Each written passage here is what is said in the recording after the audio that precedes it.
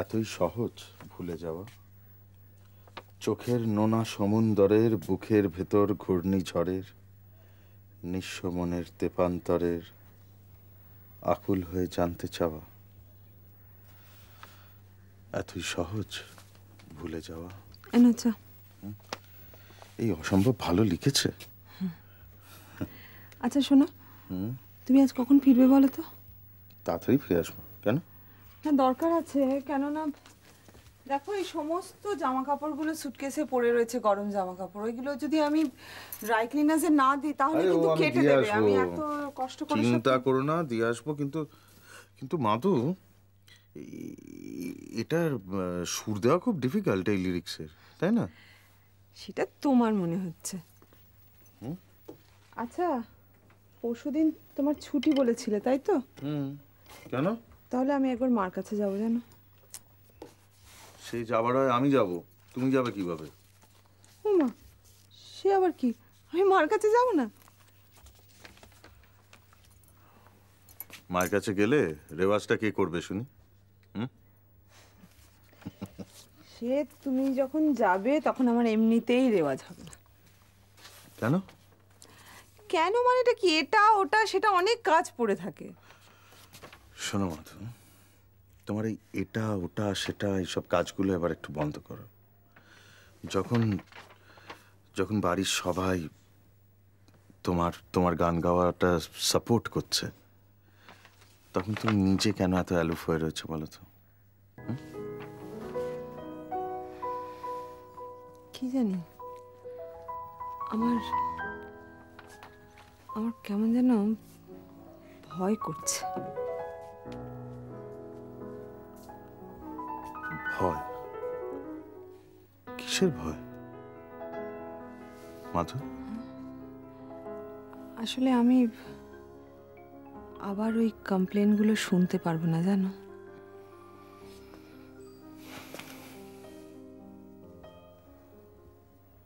শোনো। এ বাড়ির কারোর তরফ থেকে কোনো রকমের অভিযোগ উঠবে না। আমি তোমায় কথা দিলাম। তুমি শুধু আমায় একটা প্রমিস করো। তুমি আবার মন দিয়ে শুধু গান গাইবে। অন্য সব কিছু ফেলে। প্রমিস এই। প্রমিস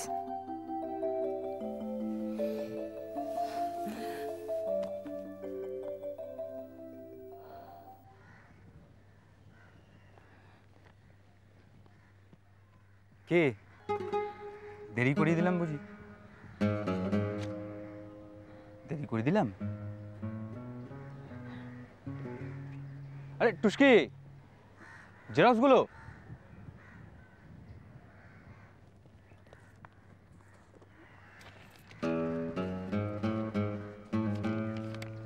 একটা শুকনো থ্যাঙ্কস কি পেতে পারি না?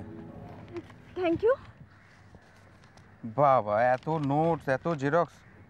খুব মন দিয়ে পড়াশোনা করছ বুঝি?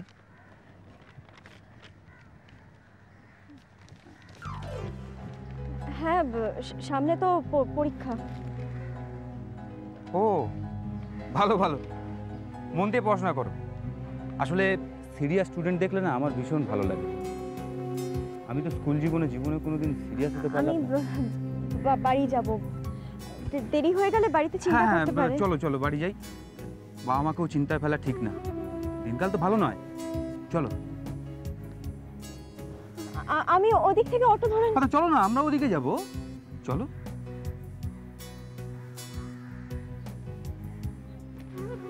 টুস্কি তোমার সঙ্গে রূপার দেখা হয়? কেন? না ওকে কিছু ক্যাসেট দেওয়ার ছিল। বাংলা গানের ক্যাসেট। আমি তো জীবনে কোনো দিন বাংলা গান ফান শুনতাম না। হিন্দি গান শুনে দিন কাটাতাম। তা ওই তো আমায় শেখালো বাংলা গান শোনা। ঠিক আছে রূপার সাথে যদি আমার দেখা হয় আমি বলে দেবো। টুস্কি তোমার মা গান ছেড়ে দিলেন কেন?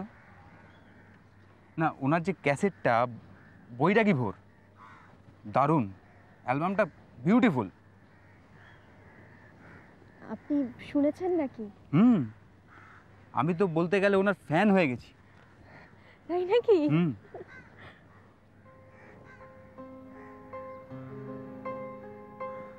অটো আমি চলি।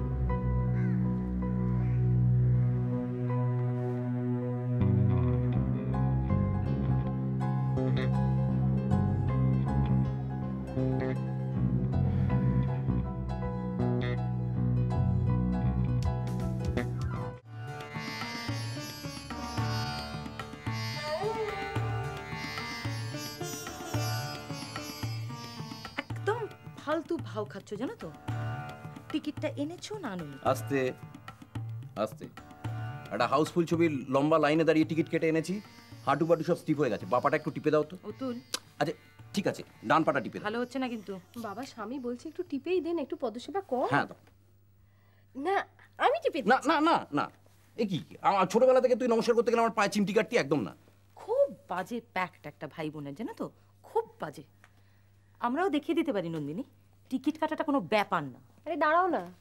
মেজদা তুমি কি শিকাগোর টিকিট কেটেছো বললে তো? এ কি এরকম তো কথা ছিল না? কথা ছিল আমি আমার পছন্দ মতো ছবির টিকিট কাটবো। সেটা শিকাগো হতে পারে হনলুলুও হতে পারে। তুই ওরম করছিস কেন? বলে দে না কি সিনেমা টিকিট কেটেছিস। বেচারাটা কীরকম করছে? মদনের মেয়ে মুনিয়া। কার মেয়ে কি? সেটা ছবিটা না দেখলে কি করে জানব? মানে কি? রি মো- আশ্চর্য এত পুয়োর জিকে নিয়ে তুমি তুমি আমার ঘরনি কি করে হলে আমি বুঝতে পারি না? মদনের মেয়ে মুনিয়া পনেরো সপ্তাহ ধরে একটা বাংলা ছবি চলছে যে কোনো দিন অস্কার নমিনেশন পেয়ে যেতে পারে। বাবা নামের কি চিড়ি মদনের মেমুনিয়া? কি রুচি হচ্ছে তোর কি রুচি হচ্ছে? এই ছবি তুমি লাইন দিয়ে ঠিক এই তোমাদের জন্য বাংলা ছবির এই অধঃপতন জানো তো এই অবস্থা। আশ্চর্য! ছবিটাকে দেখো তারপর বলো। কদাপি না। আমি সেরকম হলে নন্দিনীকে নিয়ে আমার ওখানে ওই কীর্তন শুনতে যাব কিন্তু সাধনের মেয়ে সবিতা মদনের মেয়ে মুনিয়া মদনের মেয়ে মুনিয়া। এই মেজদা এবার শোন। না আমার মনে হয় গেলে হয় জানো তো? আফটার বাংলা মেইন স্ট্রিম ছবি অন্তত দেখো দেখো তো দেখো দেখো। দেখো শেখো। বড় বৌদি থাকলেও আমায় অ্যাডমিট করতে হবে। সে একটা কালচারাল জগৎ বড় বৌদি বড় বৌদি। আবার বাঁধবি কেন? ও ও- রেওয়াজ করবে। এই জন্য ভালো লাগে না। আমি সবার জন্য আচ্ছা ঠিক আছে। তোমরাই বা বসে রয়েছো কেন? রেডি হবে তো তাড়াতাড়ি তুই বলছিলে না হাউসফুল? হ্যাঁ হাউসফুল। আমার টিকিটটা বিক্রি করে দাও না। তোমরা দুজন চলে যাও। ছোটদি তোমাদের সঙ্গে যাবে। ছোটদি কি পাগল হয়ে গেছিস? ওরা দুজন সিনেমা দেখতে যাবে আমি ওদের সঙ্গে যাব। যা। এ আবার কি? না না না। কবিতায় ওই দাড়ি কমা সেমিকোলন হাইফেন এসব না থাকলে কাব্য হয় না সেটা। কাব্য। মানে? মানে কবিরা যাকে বলে ইচ্ছাকৃত বাধা সেগুলো তৈরি না করলে ইয়ের সাথে ইয়ে যদি না যায় তাহলে ইয়ে হবে কি করে আমাদের?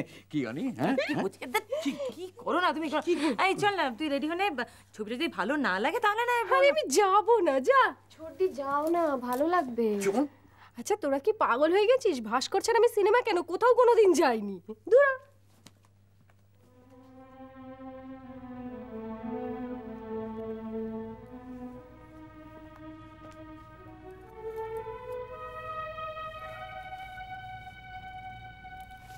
বোঝো। এতগুলো টিকিট নিয়ে আমি এখন কি করব? আমি কি শুয়ে শুয়ে দেখব?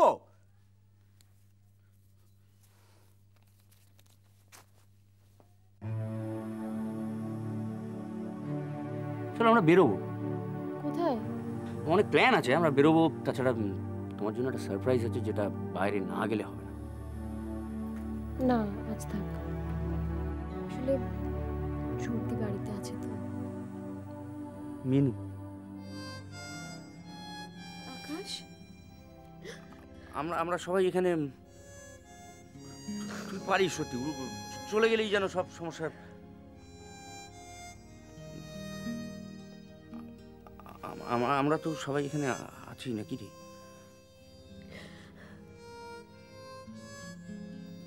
তো ওর বাড়িতে থাকার সঙ্গে আমাদের বেরোনোর কি সম্পর্ক? আমি কিছু বুঝতে পারছি না। আমাদের দুজনকে একসঙ্গে বেরোতে দেখলে না ছোটদি ঠিক। মানে এখন এই একসাথে বেরোনোটা ওর সামনে মানে? আরেকদিন আমরা একসাথে ফিরলাম না ওর সামনে। আমি দেখেছিলাম জানো তো কীরকম একটা আমাদের দেখে কীরকম একটা গম্ভীর হয়ে গিয়েছিল। নন্দিনী প্লিজ তোমার যদি যেতে ইচ্ছে না করে যেও দয়া করে মিনুর নাম দিয়ে এক্সকিউজ দিও। ভালো লাগে না।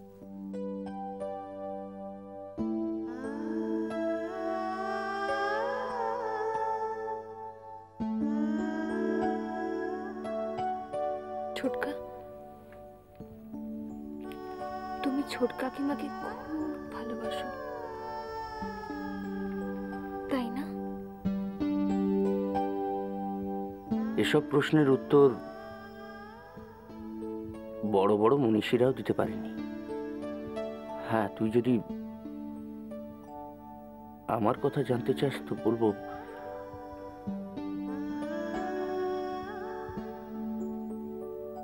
সব সময় নিজের মনের কথাই শোনা উচিত। সব সময়।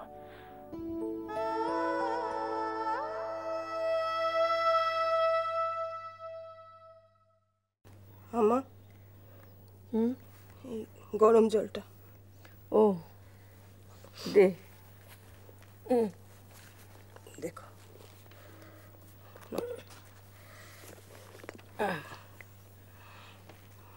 বলছি যে আমার তো ওদিকের সব সারা হয়ে গেছে। আমি এবার আসি। তোমার কিছু করতে হবে? আমার আর কি কাজ বাকি রইল? না আমার কিছু কাজ আর বাকি নেই তুই যা। আর শোন কাল তাড়াতাড়ি আসিস দেরি করিস না যেন।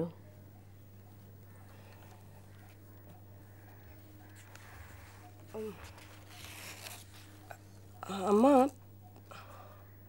কি রে? তুই এখনও দাঁড়িয়ে রয়েছিস যাসনি? আমাকে কিছু বলবি? হ্যাঁ বলছিলাম যে তোমার কাছে তো আমার অনেক ধার আছে। তুমি এবারের মাইনে থেকে যতটা পারো কেটে নিও। তোর টাকা পয়সার দরকার নেই বুঝি? ঠিক আছে। সে সময় মতন আস্তে আস্তে কেটে নিয়ে চলবে এখন অত তাড়াহুড়ো কি আছে? না না। তুমি যতটা পারো নিয়েই নাও। আমার আর এখন টাকার কি দরকার?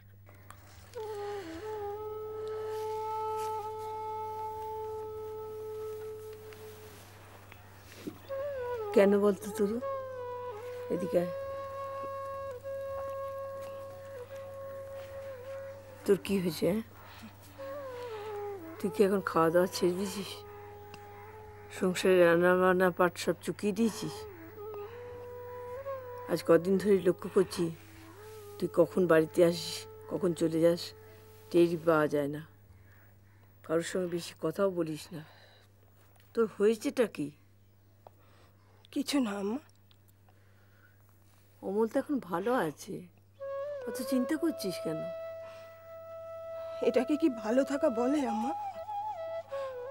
কোন হাসপাতালে কোন একটা কোনায় পড়ে আছে? কি খাচ্ছে কি পড়ছে ঘুমোচ্ছে কিনা ঠিক মতন কিছুই তো জানতে পারছি না। এরপর আর আমার গলা দিয়ে খাবার কি করে নামে বলো তো? তুমি তো জানো আম্মা। কত ঝড়ঝাপটা গেছে। তাও আমি ছেলেটাকে কোনো দিনও এক মুহূর্তের জন্য কাচ্চারা করিনি। ওর বাপও তো কত চেষ্টা করেছিল তাও তো তোর কষ্ট দেখবি আর কদিন পরে তোর অমল ভালো হয়ে ফিরে আসবে। তখন তোর আর ভাবনা কি? না আম্মা। আমি আর ভাবনা করি না। বিশ্বাসও করি না। বিশ্বাস করতে ভয় হয়। ছেলেটাকে নিয়ে তো একসময় কত কি ভাবতাম। শুধু কি জানো আম্মা ওই কাজের শেষে যখন ঘরে যাই না, ঘরটা কেমন কা কা করে। পাগল পাগল লাগে নিজেকে। চুপ কর তোর চুপ কর। কষ্ট না। এক কাজ কর। তোর কিছু জামা কাপড় নিয়ে তুই কদিনের জন্যে আমাদের বাড়িতে চলে আয়। আমাদের এখানে সবার সঙ্গে থাকলে তোর মনটা একটু ভালো লাগবে। দেখি। যাই আমা, আমার অনেক দেরি হয়ে গেল। অভ্যেসে বলে ফেললাম। আমার এখন কার জন্য দেরি হবে? কে আছে? আসি।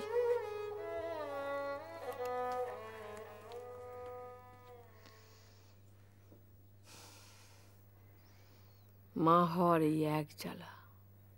ছোটকা পড়ছি। তুই সত্যি বড় হয়ে গেলি? কেন? কেন?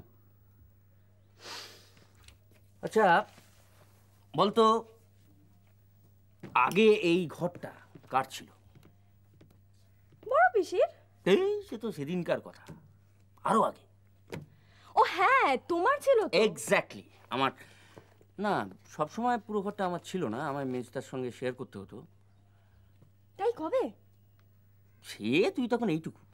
প্লিজ আর একটু বাড়াও। এর বেশি পারব না। বুঝলাম। কিচ্ছু বুঝিস নি এই রাখতো এদিকে এদিকে আয়। ছোটকা তুমি না বড্ড জ্বালাও ভালো লাগে কি বলো? হুম যেটা বলছিলাম।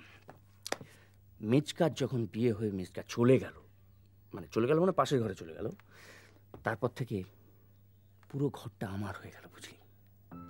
আ ফিলিং মানে এই- এক মাস আমি পড়াশোনা করিনি জানিস? এই এই একটা পুরো ঘরের মালিক আমি। ফিলিংটা এত স্ট্রং ছিল যে আমি ঘর থেকেই বেরোতাম না। কি করতে আরে করতেটা কি? সারাদিন একা ঘরে? না সব তো বলা যাবে না কি করতাম কিন্তু কি করতাম না সেগুলো বলা খুব ইজি সেই সময়টা না একজনকে দেখে আমার মধ্যে একটা অভিনেতা জন্ম নিয়েছিল আজ আজ তো বহুত খুশ हो गए तुम बहुत खुश हो বলতো কি हम्म, अगर कोई हिलने की कोशिश की तो बूंद कर रख दूंगा এবার বল পারবো না এই তোরা আজকালকার ছেলেমেয়েরা না কি সব হিরোদের পেছনে ছুটিস अमिताभ बच्चन विजय दीनानाथ चौहान पूरा नाम बाप का नाम दीनानाथ चौहान माँ का नाम सुहासिनी चौहान গাও মাটুয়া এবার বল পুরো ব্যাপারটা সম্ভব হয়েছিল কি করে কি করে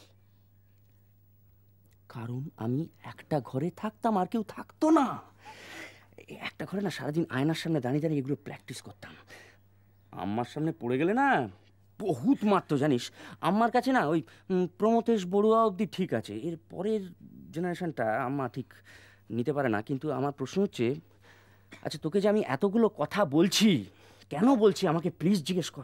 কেন? ইডিয়েট কারণ তোর অবস্থা আমার সেদিনকার অবস্থার মতো। এই টোটাল ঘরটা তোর রে।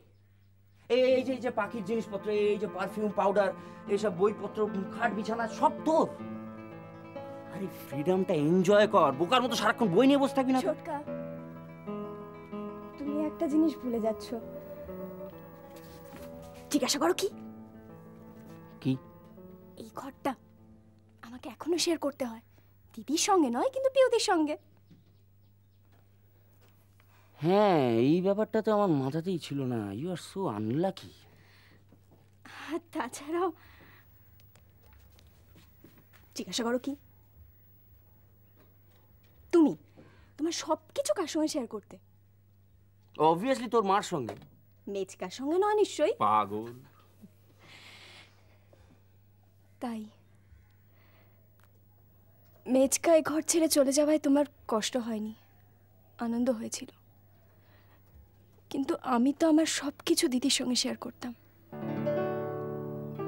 তাই দিদি চলে যাওয়ায়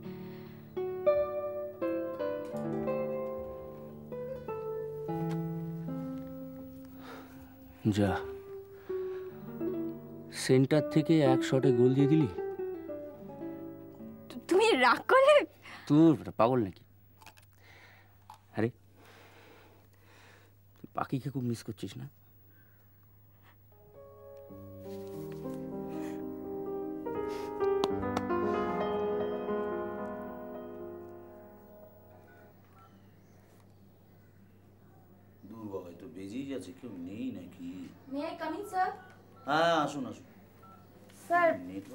আপনার জন্য।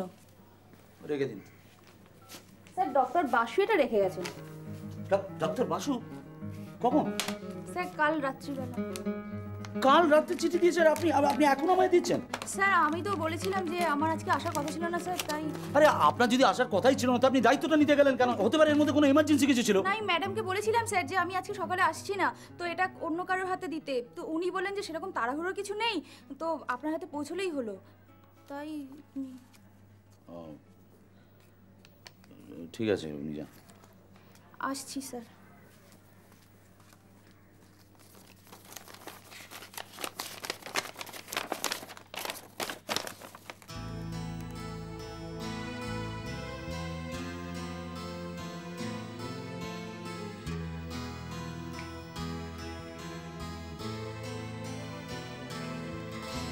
কি করব এবার অনেক দেরি হয়ে গেল যে। কালকেও যদি চিঠিটা পেতাম হাতে তাহলে নয় আটকানো যেত।